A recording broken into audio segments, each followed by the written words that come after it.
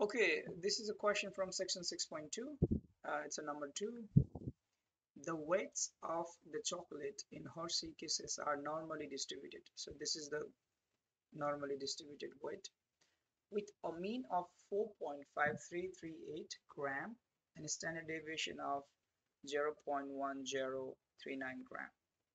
For the bell-shaped graph of the normal distribution of weight of Hershey Hershey Kisses, Hershey Kisses. What is the area under the curve?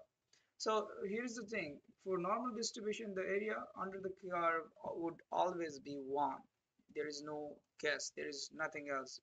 This is the, we always assume that area under the curve is 1. Total area. And for this particular type of uh, distribution, the mean, median, and mode, they are same. So what is the value of median? Same as uh, mean. What is the value of mode same as uh, mean.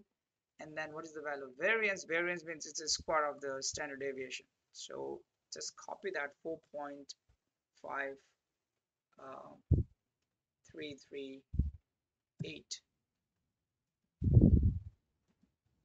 and even for the mode it's the same thing like me uh, like a mean 5 4.5338 and finally variance is the square of the standard deviation. So this is square point 0.1039.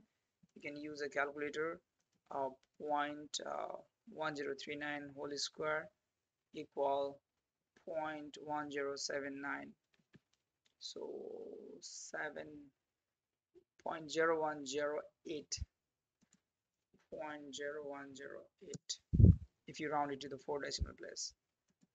Okay